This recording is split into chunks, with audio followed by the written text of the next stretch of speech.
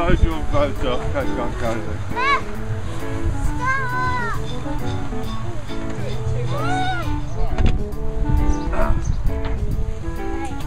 There's a giant Hold on, rock. get your dad.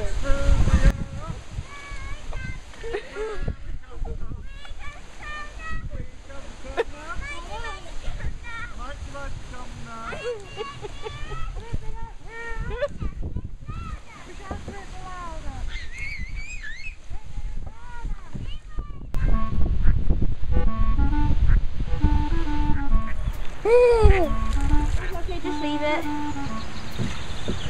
Mike, I'm so dry. Yeah, uh, changing river, yeah. Look at what, look at that. Do it.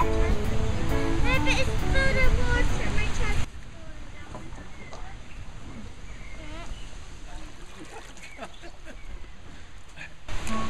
The seat's even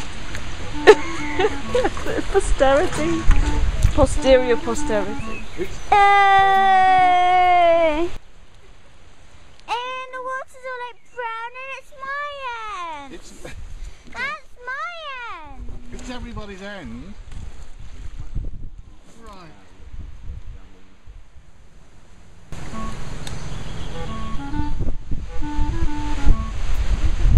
So this is my interview with Kate, who's 10 and who goes paddling quite a lot with her mummy and daddy.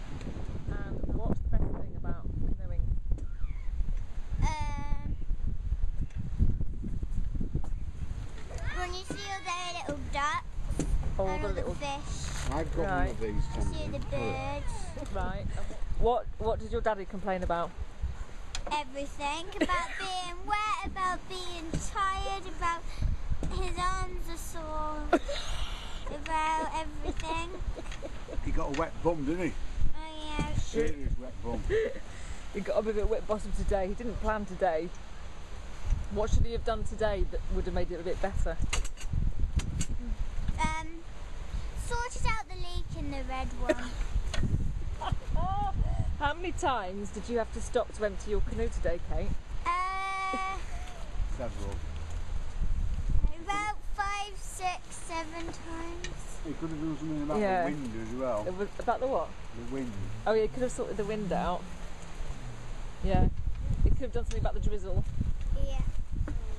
But, right. Thank you for your interview, Kate.